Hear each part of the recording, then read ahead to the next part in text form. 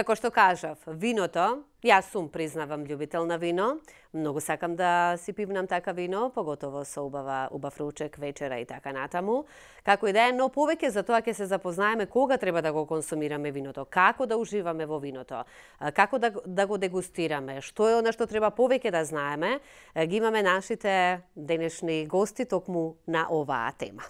Добро утро и добре ни дојдовте, Ана Стојановска Величковиќ и Петар Величковиќ. Добро утро, Слободна. Школа за вино. Па зарем, зарем и такво нешто постои?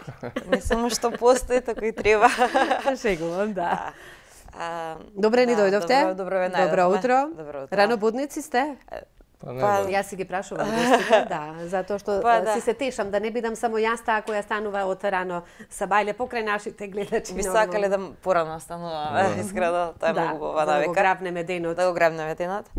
Така, добро утро уште еднаш. А, да, како што рековте, ние сме Петер е вински едукатор, ние имаме школа за винска едукација. А, и тоа е се што подразбира тоа, значи не само едукација, туку организирање на вински настани, дегустации, консалтинг. А, постоиме веќе една година и а, сме- Зошто се одлучивте, а, а, тоа секогаш сакам да знам, сите оние кои ги имаме, без разлика, нели, разно, разни професии, секогаш сакам да знам, еве, зошто вие конкретно сте се одлучиле за нешто вакво во животот да го работите, Петар? Па јас сум веќе неко време во винска индустрија, сам работел и и на брод. А, И у принцип моја приказна е кренала кога ми е гост овај на едном од крузева што сум био, ми е купио винску книгу. Аха. И И оттаму веќе љубовта кон Да, виното. во- Но во дали предходно го сакаше виното, го консумираше, уживаше во Па тој сам, не, напиток? сам работел во Србија и имате црвено и бело. Така, а во Вранац, Србија потекнуваме од, како кажавме, од Сомбор. Од Сомбор, едно У мало том- У место. том Сомбору. Да. Таа позната песна, меѓутоа знам дека и таму се љубители на виното. Како не? како. Малку може би и повеќе од колку што треба. Да. На добро. Сепак, дали е, кажавме за винската едукација. Ајде, Ана, појасни што значи тоа винска едукација. Што Така. треба ние да знаеме и што е она што може вие да не едуцирате околу виното. Еве, љубителите на вино, јас кажувам дека сум љубител на, Така. на вино. Е па да, значи Па најдобро да се тргне од тоа дека за, за нешто се ужива треба да се познава. Значи а, не само не само тоа туку се подигна на ново ниво, кога нешто познаваш, кога знаеш што сакаш, кога знаеш како да избереш. А, така да ние нашата школа е а, ние сме представници на лондонската школа, на интернационална глобална позна, позната програма која се вика Wine and Spirit Education Trust и ние сме нивни официјални представници во Македонија. Една година функционираме. да Функционираме една потсетиме, година, добро. така. А, И што сега- сторивме за оваа една година? Па искрено да, искрено ми се ми изгледа сега баш ние правиме така како некоја ретроспектива. А, и доста работи се случија, затоа што е ова беше нешто ново на македонскиот пазар. Може инсертите да ги погледнеме. Така, ние не знаевме како каков одговор ќе најдеме, а, па така да прво скокнавме па рековме оп. И Бевте скептични околу? Па не бевме ние скептични, него така Не, ние Аха. бевме сигурни во себе, него нашето така сите луѓе со кои што средавме требаше малку да се пробијат некои бариери, зашто едукација, кој што прашувате. Едукацијата е многу битна, многу потребна. А, м, а, Со скок од вино до вино. Да, тоа е меѓу другото еден вински бренд кој што интернационален вински бренд кој што ние го внесовме во Македонија. Ова е школата како функционира. Ова е така школата, да. Ке Па продол... за ке продолжи, задржи се ја мислата. Само да Така. ги скоментираме инсертите. Значи, тука имаме дегустација на вино. Да, Дегустираме вино. Ова конкретно е час по левел Добро. 1, тоа е повеќе наменет за вински љубители. Еве, let's taste, да пробаме. Да, ова е дегустација за пелни вина, ова Петар како отвори вино со лето, молерското лето. Можно е. Е, Да, Сакамо Така. да направиме Во сега. моментот, нели, кога немаме ник... А тоа се случува во домовите, сигурна сум дека не само Па. кај мене. Не можеме во моментот па бараме по соседи, па ваму таму отварач за вино или оној кој знае да, Да. го отвори виното. Ќе И тука направиме видео објашнење како да А, како да направиме. така, да. не го препорачуваме веќе- дома се прави, ама Е, ова е а, винс, винарија, така? Да. Да. Ова е шата соп. Шато Сопот е тоа. Ова се едукација во Шато Сопот. Вовет во а, Винска едукација. винската едукација. Ова се сертификатите, ова е група од левел 1 или група од левел 2. Што Ова прават за најновите студенти. Што прават вашите ученици и студенти? Што е она што вие ги едуцирате? Продолжи со она што што Така. сакаше да го а, кажеш затоа што јас сепак сакав да ги искоментираме овие инсертите за да не биде нели говориме за Так. нешто друго одат Ова се исто сертификатите. Инсерти, сертификати, можам и јас да добијам сертификат. А, да, се разбира. Значи, сертификатите научи. Се... Да. А, сертификатите се, тоа е најдоброто во нив што се постојат во, во светот две глобални сертификациони тела, едното од нив е ова. Значи овој сертификат е светски познат и во опис на работни места е оној кој што ќе биде наведен и баран. Така да прв пат во Македонија го има тоа и ние тоа беше нашата цел, значи на почетокот на Многу ми е интересна темата и не знам веќе зна, знаеш ли колку прашања имам во Да. моментов? Да, има многу да што- се зборува, се отварат многу. Многу да се зборува, но ова вака за за почеток, па можеме некогаш и некој убав прилог да снимиме Да, како би било вие убаво. тоа Повелете во нашиот центар да- ете за така на лице место тоа го правиме. А, Петар, а, еве околу едукацијата на виното. Што е она што вие го познавате и накратко само она или пак да појасниме, значи за едуцирањето на виното. Што треба да знаеме ние за виното? Па ја на Какво знаење ќе ни пренесеш? Па, е, знање, на пример, што дајемо преку WSET е, значи, глобално признато знање. Значи, ја, на пример, добијамо коментаре, ако приđем енолог, он ми каже, јас сум завршио школу за енолог, јас знам све. Они у принципу знају свој део да, да направе вино, меѓутим има тај део где се ми уклучуваме, Каде кога немаат се поема. кога, тре, кога треба, како се зове njihov производ, да се Да. повеже со, со публика и со пазар, значи каде шегувам, требају, кога требају да продају то вино. Е, ми ту улазиме ту значи дека приказна. постојат многу други тактики и тајни околу тоа како треба да го консумираме или какво, каков треба да биде квалитетот најверојатно на виното. Постои суво вино, па постои мокро вино, како можеме да ја направиме разликата. Е, тука веќе околу виното се многу големи специфики. Најверојатно, токму затоа што вела дека е Божји напиток. Така. Па виното е Па е многу толку многу длабока. специфичен. Да, многу многу длабока тема и Да. секој што про- пропочна да учи, учи сваќа дека нови нови слоеви се отвараат тука. А, и тоа е секогаш променливо, секогаш има некои новости, ако не е мртва тема, секој тоа уште се уште жива и се надградува. Да, постојат многу видови на вино. А, како што рековте, и поентата на едукацијата, како за, за професионалец е да може да добие работна позиција, за уживател или љубител е да знае што сака, како да одбере, а, да, да препознае што е она што што е она што го сака во виното и на тој начин да открие нови вина кои што потенцијално ќе ги сака, да му се отвори цела палета на вкусови и да се разбере и комбинирање со со Ево, кон- храна. конкретно сам имao разговор со еден од uh поранешен е, студент наш и он у принципу работи дечко за за винарiju, представља винарiju, значи njihov бренд менеджер и онда е он само онако убаво ми е објаснio ми не, некогаш и не до, не знамо колку едноставно ови курсови доприносе кандидатима. Али он сам je rekao i objasnio својим послодавцima Слушајте, овај курс е мени отворио, како се зове, можност да по, како се зове, поубаво, поконкретно, Го поја, запознам виното. појасно запознам вино и да зборим на како се зове на Па како што кажав, некогаш мислиме на дека ние се знаеме, но немаме поим. Затоа што има и други работи кои треба да ги Тоа е запознаваме. најгори вид знање. така, да. Е, сега, ам, она што сите сакаме е да уживаме во овој напиток. Но како да уживаме? И зошто да уживаме?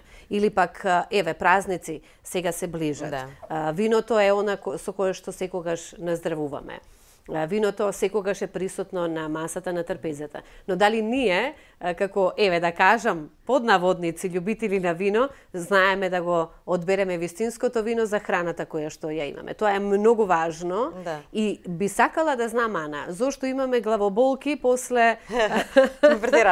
М, дали сме претерале, меѓутоа некогаш и не претеруваме, меѓутоа Да. главоболката постои и зошто е тоа од консума... консумирањето на вино. Во моментот го пиеме, е преубаво, меѓутоа имаме мака. Сега Да. јас а, знам дека се согласуваат многу гледачи со мене. Зошто е тоа така? Дали не сме одбрале доволно Па- моментот за пиење на вино, за уживање на виното или храната Да, не се била? тоа да, се тоа комбинација. Не храната нема биде момент за главоболка, но комбинацијата и количината секогаш ќе биде. Се се разбира. И од типот на виното? Па не са, не типот, туку можеби квалитетот. Квалитетот. Да, на пример дали е дали во процесот на на, на создавање дали се дадени малце повеќе суфиди. Баш вчера имавме можност да разговараме со еден од нашите од мали представници мали винари кои што има органска винарија. И тоа е многу убаво во Македонија се знае, значи имаат многу мали винари кои што имаат многу убави квалитетни вина кои што имаат органски пристап, биодинамичен пристап кон виното и го работат тоа од љубов.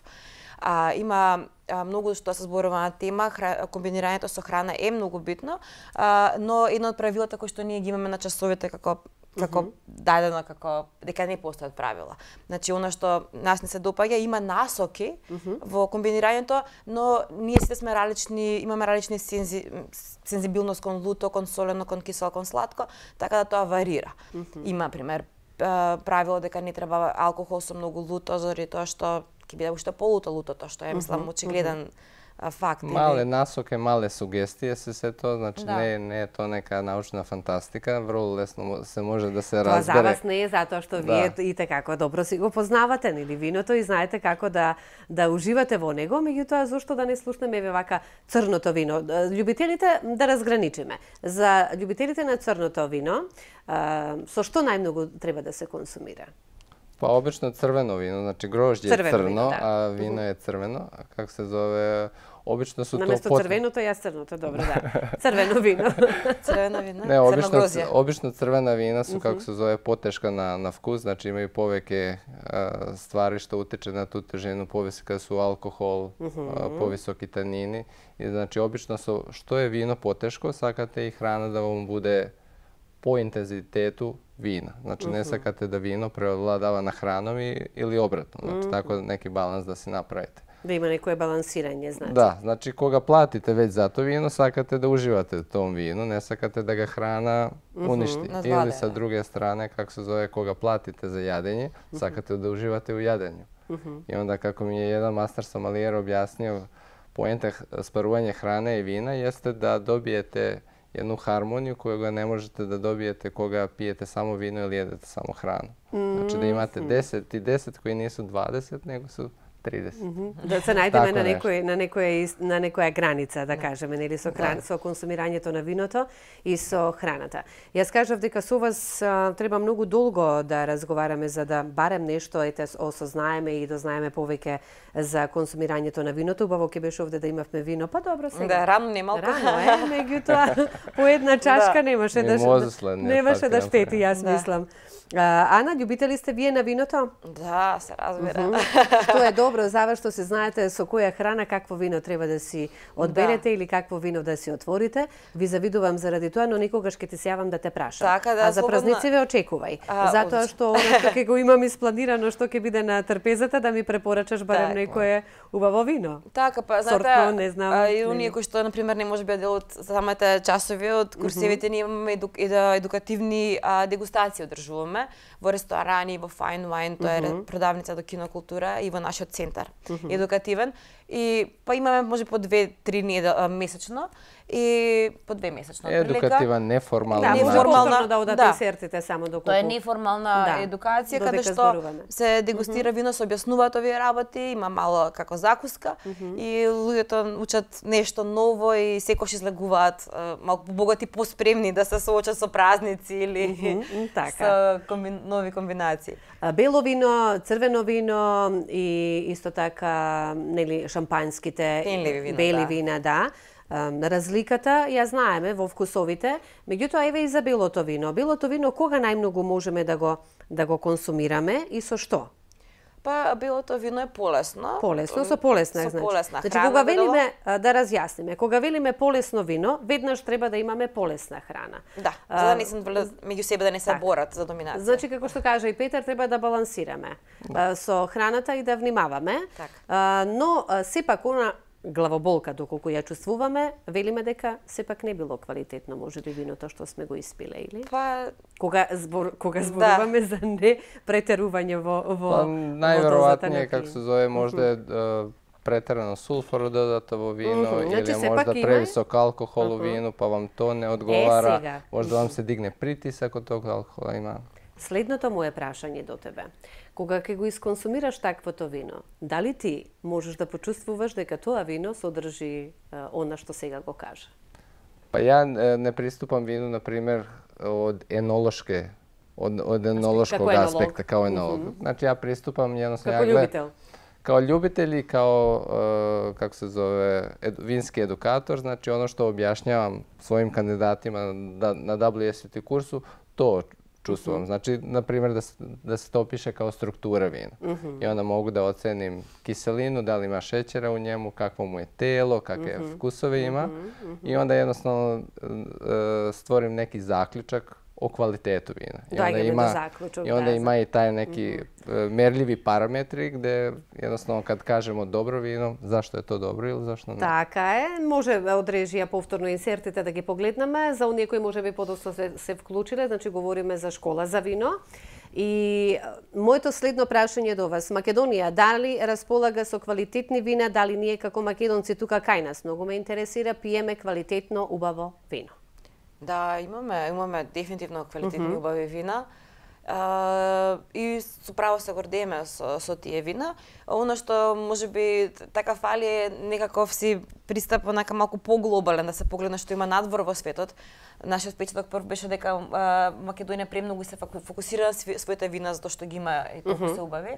А, треба треба секој се знае што се случува надвор на, на винската сцена за да се знае се цени тоа што е внатре и да се знае како да му се пристапи, како да му се како да се сака повеќе. А, да, како што спомнав имаме убаво Чаши, вино. вино, па тоа многу убава школа е ова. Да, ова е исто едно од дегустациите. интересна. Ова е исто едно од Да. часовите, исто така. Така. А, Позитивни сте насмејани, па ко- како не би Так. биле кога се консумира некои две-три голтки вино? ove sitne Aha. slike su posle nekoliko čaša vina, tako да, да. Наши дегустации така обично почнуваат малку се Па сите после прво и музика може малку, па Да, да, да. у том сомбору и Да, така да. натака, да. Да. Вака сега јас доколку не успеав нешто да извлечам од вас, што би било многу интересно за да го кажете еве кон крајот некаде се приближуваме од разговора доколку е нешто интересно што се однесува за школото. Значи кажавме постои една година, веќе имаме едуцирани енолози за за вино, Да, така? не енолози, него тоа се а, во било кој аспект од винската индустрија. Познавачи на Познавачи. познавачи на виното Така, можеме, да. значи слободно да ги наречеме Така. затоа што и тие веќе можат да се најдат свое некое работно Да, место да. во винариите. право тоа. и така натаму, значи оваа школа го нуди тоа, така? Да. Што значи дека можеме да работиме и нешто плюс од она што го во моментот имаме, значи да, Да. бидеме познавачи на виното. Јас мислам дека многу љубители на виното сакаат а, да ја посетат вашата школа, како тоа може да го сторат или пак еве за оние кои во животот може би сега ете желба им се појави да го посетат вашата школа за вино. Pa mi smo veoma otvoreni i sekogaš onako su entuzijazam prihvatamo nove ljubitelje vine i pogotovo ako sakaju da, na, da nauče poveke i ako mi sakamo i ako mi možemo da im pomognemo da, na primjer, nađu rabota u svetu vina. ovaj, tako da mogu da nas kontaktiraju, imamo Facebook stranicu na kojoj smo jako aktivni. Ovaj, uh, imamo web stranicu uh, wineway to- kažeme, tak. wineway.org. Uh, na Facebooku na- nas mogu naći Као Майнвей. Wineway. Ovaj, А, да? Мгм. Ана, а дали се овие сертификати да напоменеме, да не заборавам, и надвор од границите, Да, тие да. важат, значи за Да, а, да. за секаде. Значи Да, со тоа е нив можеме- интернационален, глобално признат сертификат. Глобално признат, тоа е многу важно. Тоа е да многу, да. тоа, тоа е многу важно Da. и а, poslodavac vidi ovaj sertifikat na, na vašem CV, on jednostavno razbira da vi imate znanje, veštine i imate taj, neku, taj neki drive da sakate da postanete podobri i da ćete doprineti njihovom, kako se zove, njihovoj firmi. Да. Така. Во некои ресторани во светот постои и обратна страна кога и конобарот или кенлерот поточно кажано, кенлерот доаѓа со повеќе вина за да се дегустира, да, да гостите да ги дегустираат за да се одлучат што да што да се напијат. Pa cela poenta je, kako se zove, ove vinske edukacije, da možete da zborite sa gosti, da saznate šta taj gostinac saka. Ma, i, iako se često dešava da i sam gost ovaj, ne zna tačno šta, šta saka, ne zna kako da objasni to, e onda je tu, tu bi trebao da nastavi ili ko, Познавачите на виното. tu bi trebalo da, pozna, da nastupe poznavačite na vino, Na ali na tako ovaj, pristupačan e, način da jednostavno objasne gostu ovaj, šta je to što mu se sviđa i šta on poveke e, ke uživa, kako se направо zove. препорака едноставно кој што ќе биде Да. успешна комбинација. Така. Кои се плановите во, за школото во, во новата 2020 година? имаме Продолжуваме понатаму, Да. една година веќе функционираме Да. во Македонија. Имаме се- сертификати доделено веќе на познавачи на виното. Внимателни се учениците, слушаат. Слушаат. Ве- на, на веќина од нив. Но како ми, како ми одговори Петар? Јас реков можам да добијам сертификат, можеш, ама ако научиш. Е, да, да, ние Не, ми Не пак се така се едноставно. пак да, се Да. пак се гордимо со ово Да. и не земамо овај у најмењу руку здраво за готово, него баш сакамо да оставимо како се зове а, да направиме разлику тука. Ова е така за наредна година имамо големи планови, веќе смо аплицирали за неке проекти што сакамо да да остваримо веќе на почеток на оваа година. Ова веќе смо направили цел план до у првих 6 месеци за курсеви во април, а, како Во се февра- зове февруар, февруари, април, април и јун. и јун. Ова е така да онако голем програм. Сак, сакамо да будеме и поактивни со тај неформални дел со едукацијама, со формалном едукацијом WST, така да А доколку не сакаме да го добиеме сер... јас се веде јас реков. Многу прашања околу виното. Да. Доколку не сакаме сертификата, сакаме како љубители на вино да се едуцираме, можеме и во Така. вашето школа и тоа да, Да, го да. сториме. Па значи тие имаме тие значи како неформална дегустација каде што доста се учи. Еве јас сакам сега Така. да дојдам и да се едуцирам повеќе за виното. Да, па значи секој да го поканам, секој што како вас се чувствува, да повели на пример нашата Facebook странка што рече Петар сме многу Како што кажа Петар, и после активни. две-три голтки, две-три чашки, да. сите расположени Тие се на многу убави Знамо дегустации. како иду дегустација. Да, почнуваат резервирано и сите после Да, првата чаша се веќе пријатели, се познаваат многу одамна. Така. Така да многу се тие тие се на пример корисни, ја одржувавме и мини часови, мини работилници, а, такви баш од тој тип каде што се комбинира храна и вино или каде што се учи нешто ново за зре, начин на зрење на виното или нешто слично, по покомплексно. Има еден филм, српски филм, ова е зборува се как се как се вика. И професор фата два ученика, два студента у кафани. И не везе, наредниот наредниот час их прашува формулу за алкохол. И овај еден не зна. Овај прашува овог друго, овај му све објасни за алкохол. И овај каже, видиш се каквим знања се иде у кафан. Така е. Ви благодарам барем дел од она што можеме да го пренесеме на гледачите за виното. Се надевам дека нешто дознаа, па може би се пројави интерес и жилба како што еве ја за едукација, па некој друг за сертификат за уживање Така, во виното, за дегустација. Треба умерена, секогаш доза да си имаме. А, за празниците полека со виното, меѓутоа е Божји напиток, така? Зошто го зошто велиме дека е Божји напиток? Може би затоа што Да еве се оправдаме. да се оправдаме, меѓутоа не. И оние спецификите кои ги содржи виното на вистина се нешто што привлекува магија да го еве, да уживаме во виното, но и да се едуцираме малку повеќе. А многу ви благодарам што одвоивте време да бидете дел од Македонија денес, па да ета и на ваква тема да се разговара.